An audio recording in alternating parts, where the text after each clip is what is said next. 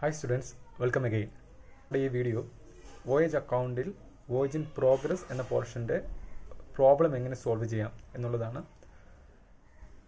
ഈ വീഡിയോയിലെ കണ്ടന്റ് നല്ല രീതിയിൽ മനസ്സിലാക്കാൻ വേണ്ടി നിങ്ങൾ ആദ്യം ചെയ്യേണ്ടത് ഇതിനു മുമ്പ് ഞാൻ വോയേജ് അക്കൗണ്ടിനെ കുറിച്ച് നാല് വീഡിയോ ചെയ്തിട്ടുണ്ട്. ആ വീഡിയോ കാണുക അതിനുശേഷം ഈ വീഡിയോ കാണുക.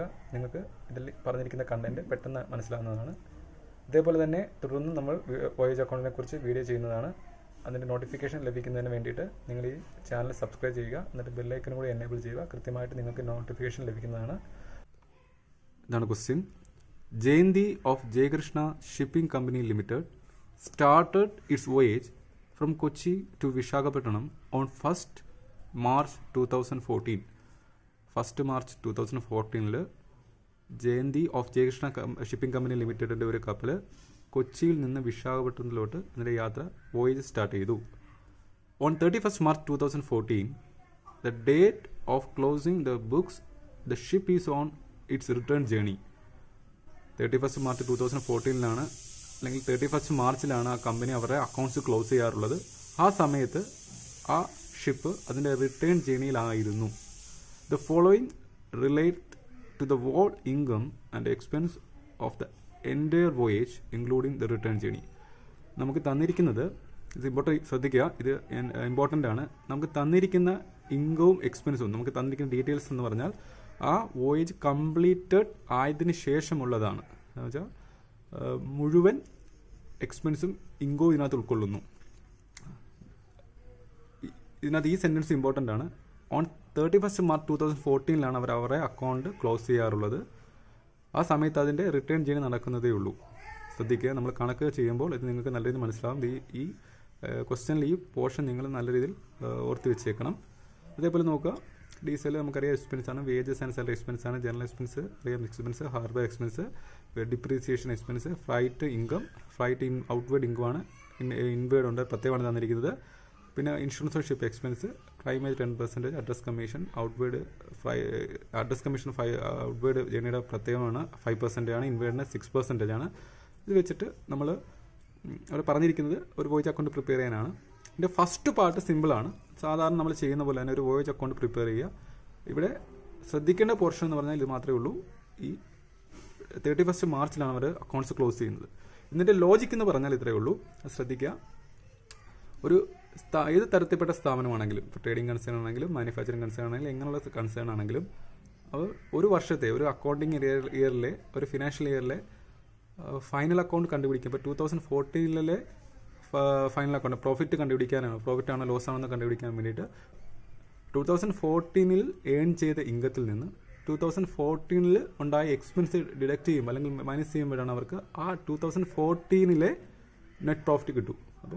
ടൂ തൗസൻഡ് ഫോർട്ടീനിൽ അല്ല ഉണ്ടാകാത്ത എക്സ്പെൻസുകളും ഇൻകങ്ങളും അവർ അവോയ്ഡ് ചെയ്യണം അപ്പോൾ ഇവിടെ ശ്രദ്ധിക്കേണ്ട കാര്യം ഇതാണ്.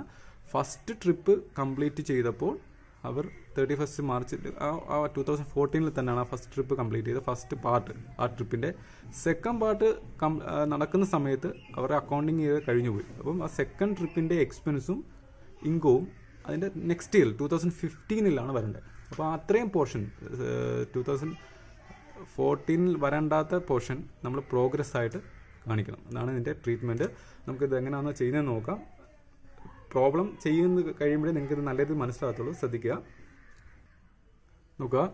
ആ ക്വസ്റ്റ്യൻ വെച്ചിട്ടുള്ള നമ്മൾ കാര്യങ്ങളെല്ലാം ഇവിടെ ചെയ്തിട്ടുണ്ട്. അഡ്ജസ്റ്റ്മെന്റ് ഇല്ലാതെ നമ്മൾ ഡീസൽ ആൻഡ് ഫ്യൂവൽ എക്സ്പെൻസ് അത് ഡെബിറ്റ് ചെയ്തു. Wages and salary expense debit ചെയ്തു. General expense harbour charges depreciation insurance shop ഇത്രയും ഡെബിറ്റ് എക്സ്പെൻസ് ആണെന്ന് ഡെബിറ്റ് ചെയ്തു. അതേപോലെ തന്നെ ഫ്ലൈറ്റ് ഔട്ട്വേഡ് തന്നിട്ടുണ്ട് സെവൻ ലാക്ക് അതിന്റെ കൂടെ ടെൻ പെർസെന്റേജ് ആണ് പ്രൈമേജ് വന്ന് ആഡ് ചെയ്ത് seven lakh ten seven lakh റുപ്പീസിന്റെ ten percent എന്ന് പറയുമ്പോൾ seventy thousand seven lakh seventy thousand നമ്മൾ ക്രെഡിറ്റ് ചെയ്തു. ഫ്ലൈറ്റ് ഇൻവേഡ് തന്നിട്ടുണ്ട് ത്രീ ലാക്ക് റുപ്പീസാണ് അതിന്റെ ടെൻ പെർസെന്റ് പ്രൈമേജ് പറയുന്നത് thirty three ലാക്കിന്റെ ten percentage three thirty thousand അങ്ങനെ ത്രീ ലാക്ക് തേർട്ടി തൗസൻഡ് നമ്മൾ ക്രെഡിറ്റ് ചെയ്തു. അതേപോലെ തന്നെ അത് വെച്ചിട്ട് അഡ്രസ് കമ്മീഷൻ കാൽക്കുലേറ്റ് ചെയ്തു. ഔട്ട്വേഡിന്റെ seven lakh seventy thousand seven lakh seventy തൗസൻഡിന്റെ five percentage എന്ന് പറയുന്നത് thirty eight thousand five hundred ആണ്. അതേപോലെ തന്നെ ഇൻവേർഡിന്റെ ത്രീ ലാക്ക് തേർട്ടി തൗസൻഡിന്റെ സിക്സ് പെർസെന്റേജ് എന്ന് പറഞ്ഞാൽ നയന്റീൻ തൗസൻഡ് എയ്റ്റ് ഹൺഡ്രഡ് ആണ്. ഇത് ആഡ് ചെയ്തു ഔട്ടറി കാണിച്ചു. ഇതാണ് ഇത്രയും കാര്യങ്ങൾ നമ്മൾ മുഴുവൻ എക്സ്പെൻസും ഡെബിറ്റ് ചെയ്തു ഇൻകം ക്രെഡിറ്റ് ചെയ്തു. അത് വെച്ചിട്ട് അഡ്രസ് കമ്മീഷൻ ഇത് മൊത്തം നമ്മൾ ചെയ്യുക. ചെയ്തതിന് ശേഷമാണ് ഇവിടെ പറഞ്ഞിരിക്കുന്ന കാര്യം എന്താ? ഈ വോയേജ് കംപ്ലീറ്റഡ് ആയിട്ടില്ല. ഇത് ഈ ഫൈനൽ അക്കൗണ്ട് പ്രിപ്പയർ ചെയ്യുന്ന സമയത്ത് അല്ലെങ്കിൽ പ്രിപ്പയർ ചെയ്യേണ്ടിയിരുന്ന സമയത്ത് അതിന്റെ റിട്ടേൺ ചെയ്ത് നടക്കുന്നതേ ഉള്ളൂ. നമുക്ക് പക്ഷേ തന്നിരിക്കുന്നത് മുഴുവൻ ഇൻകവും എക്സ്പെൻസുമാണ് അപ്പോൾ നമ്മൾ മുഴുവൻ ഇൻകവും എക്സ്പെൻസുമാണ് ഇവിടെ ഡെബിറ്റും ക്രെഡിറ്റും ചെയ്തിരിക്കുന്നത്. ക്വസ്റ്റ്യൻ പ്രകാരം കൊച്ചിയിൽ നിന്ന് വിശാഖപട്ടണത്തിലോട്ട് അവർ ഫസ്റ്റ് മാർച്ചിൽ അതിന്റെ വോയേജ് സ്റ്റാർട്ട് ചെയ്തു. ഇത് കംപ്ലീറ്റ് ആയി. വിശാഖപട്ടണത്തിൽ അവർ റീച്ച് ചെയ്തു. തിരിച്ച് വിശാഖപട്ടണത്തിൽ നിന്ന് വോയേജ് സ്റ്റാർട്ട് ചെയ്യുന്ന സമയത്ത് അല്ലെങ്കിൽ വോയേജ് തുടങ്ങി ആ സമയത്താണ് അവർ അക്കൗണ്ട്സ് ക്ലോസ് ചെയ്യേണ്ട ടൈം അപ്പോൾ നോക്കുക ഈ കൊച്ചിയിൽ നിന്ന് വിശാഖപട്ടണം അത് കംപ്ലീറ്റഡ് ആണ്. ഇതാണ്. ഇതേപോലെ ഇപ്പം വിശാഖപട്ടണത്തിൽ നിന്ന് കൊച്ചിയിലോട്ടുള്ള പോർഷനാണ് നോർത്ത് വിശാഖപട്ടണം ടു കൊച്ചി. ഇത് നോട്ട് കംപ്ലീറ്റ് ആണ്. Okay Visakhapatnam to Kochi is not complete okay അപ്പം നമ്മൾ ഇതിനെ ടോട്ടൽ ട്രിപ്പിനെ ഒരു വൺ ആയിട്ട് എടുക്കുകയാണ്. വൺ എന്ന സംഖ്യ കൊണ്ട് ഡിനോട്ട് ചെയ്യുകയാണെങ്കിൽ അതിന്റെ ഹാഫ് കംപ്ലീറ്റഡ് പകുതി കംപ്ലീറ്റഡ് ആണ്. ഹാഫ് കംപ്ലീറ്റഡ് അല്ല. പകുതി. വൺ ബൈ വണ്ണിന്റെ പകുതി കംപ്ലീറ്റഡ് വണ്ണിന്റെ പകുതി കംപ്ലീറ്റഡ് അല്ല അപ്പം ടോട്ടൽ എക്സ്പെൻസിന്റെ പകുതി. ഇത്രയും ഇത് ഇത്രയും കൊടുക്കുന്ന ടോട്ടൽ എക്സ്പെൻസിന്റെ പകുതി പ്ലസ് റിട്ടേൺ ജേണിയുടെ അഡ്രസ് കമ്മീഷൻ ഇതിന്റെ പകുതി കാണേണ്ട കാര്യമില്ല എന്ന് വെച്ചാൽ കാരണം റിട്ടേൺ ജേണി ഓൺ ഗോയിങ്ങിലാണ് അപ്പോൾ ഇതിന്റെ ഈ portion nineteen thousand eight hundred നമുക്ക് അത്രയും ടോട്ടൽ നമ്മൾ ചെയ്തെടുക്കുമ്പോൾ നമുക്ക് എക്സ്പെൻസിന്റെ ഓറിജിൻ പ്രോഗ്രസ് കിട്ടും. നോക്കാം. ശ്രദ്ധിക്കുക. അപ്പോൾ നമ്മൾ ചെയ്യേണ്ടത് വർക്കിംഗ് നോട്ടായിട്ട് എഴുതുക വർക്കിംഗ് നോട്ട് പേജ് എഴുതുക voyage in progress carried on credit side അക്കൗണ്ടിന്റെ ക്രെഡിറ്റ് സൈഡിൽ വരുന്ന വോയിജ് ഇൻ പ്രോഗ്രസിന്റെ പോർഷൻ എത്രയാണ്? അത് കണ്ടെത്താനുള്ള ഒരു ഫോർമുലയാണ് നമ്മൾ ഈ പറയുന്നത്. നോക്കുക. Half of the expense half of the expense നമ്മൾ പറഞ്ഞു. ടോട്ടൽ വോയിജിന് വൺ ആയിട്ട് എടുത്തു. അതിന്റെ ഹാഫ് കംപ്ലീറ്റഡ് ആണ് ഹാഫ് ഇൻകംപ്ലീറ്റഡ് ആണ്. അപ്പോൾ ആ ഇൻകംപ്ലീറ്റഡ് പോർഷന്റെയാണ് നമ്മൾ എടുക്കേണ്ടത്. അപ്പോൾ ടോട്ടൽ എക്സ്പെൻസിന്റെ ഹാഫ് പ്ലസ് അഡ്രസ് കമ്മീഷൻ. എന്തുകൊണ്ടാണ് അഡ്രസ് കമ്മീഷൻ പ്രത്യേകം പറയുന്നത് നമ്മൾ പറഞ്ഞു? ഹാഫ് അല്ല?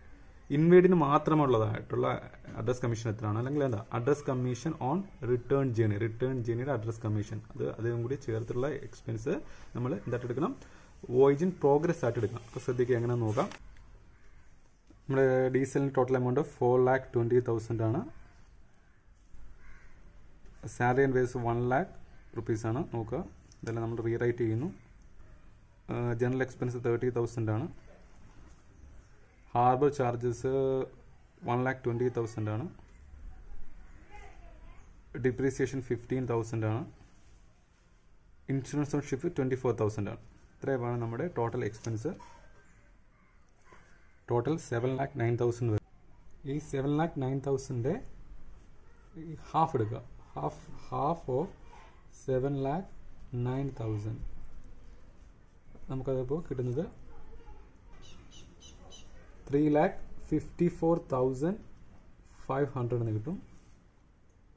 അപ്പോൾ നമുക്ക് three lakh fifty four thousand five hundred എന്ന് കിട്ടും. ഇതിന്റെ half seven lakh ninety nine തൗസൻഡിന്റെ half എന്ന് പറഞ്ഞാൽ fifty four three lakh fifty four thousand five hundred എന്നാണ്.